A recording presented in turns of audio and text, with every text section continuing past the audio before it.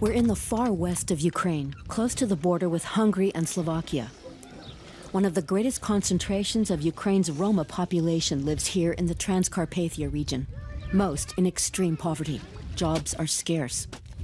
But many Roma who moved away to cities in search of employment are now returning to these villages. A series of anti Roma attacks by far right extremists has presented these people with a stark choice work or safety. This is how it all began. In April, a far right group attacked a Roma camp in the Ukrainian capital, Kiev, as this footage is said to show. It wasn't to be the last such incident. Copycat attacks have followed. In late June, the violence claimed its first life. 23 year old David Pap was stabbed more than a dozen times in the western city of Lviv.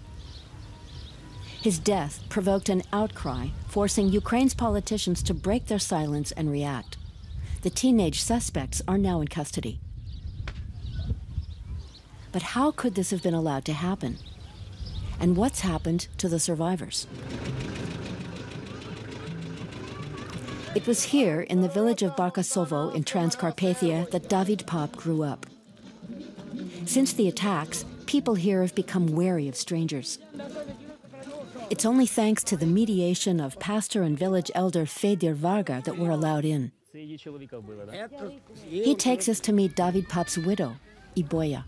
It's the first time she's spoken publicly about her husband's murder.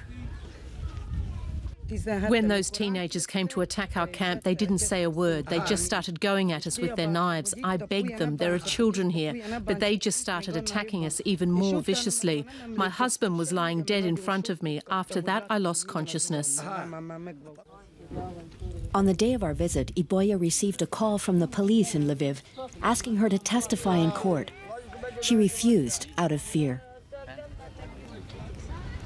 Are Ukraine's politicians really taking this problem seriously? We asked the deputy governor of Transcarpathia in the region's capital, Uzhhorod.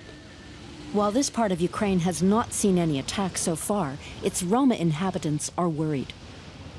Yaroslav Galas is devastating in his criticism of the police in Kiev and Lviv.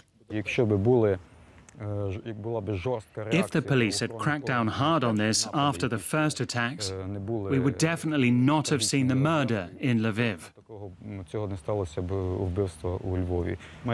When something like this happens, it's up to the police and politicians to come down hard and send a message to society that things of this kind will not be allowed to happen.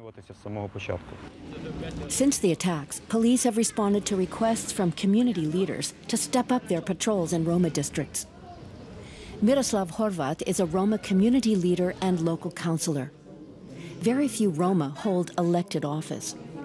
He uses the position to bridge the gaps between government and his own community. Many Roma here don't even have a birth certificate, let alone a passport. He's often the only one who can help. But recently, Miroslav has been confronted with a new set of problems as victims of the attacks come to him for support.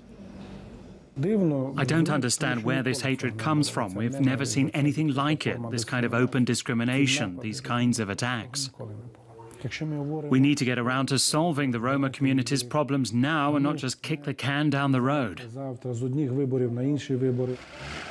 Miroslav takes us on a visit to Radvanka, a Roma community on the edge of Uzhhorod. We meet Clara, a survivor of one of the attacks in Lviv. They beat old people and children. They smashed my brother in law's head in and just left him for dead.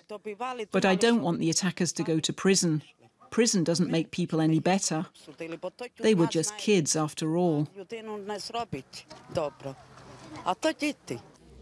That's something we hear time and again, but it's unclear if people are too afraid to say anything else.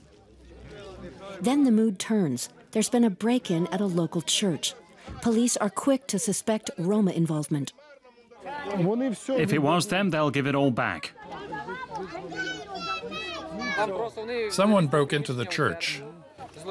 Do you have pictures? We never find out how the investigation ends. For now, the police leave Radvanka without making any arrests.